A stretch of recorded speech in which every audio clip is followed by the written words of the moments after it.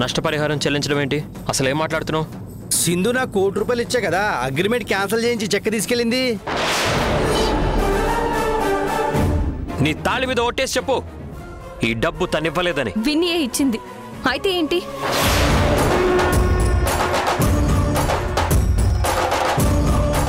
మనసంతా నువ్వే.